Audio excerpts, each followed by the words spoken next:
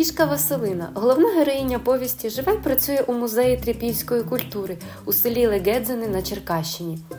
Василина разом зі співробітниками музею запрошує всіх охочих доєднатись до вивчення унікальної трипільської культури, пам'ятки якої на території України вперше віднайшов археолог Вікентій Хвойка у 19 столітті.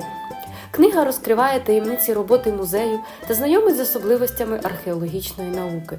Кожен персонаж книжкової історії має реальний прототип, а яскраві й неповторні ілюстрації Ольги Музиченко захоплять вашу уяву.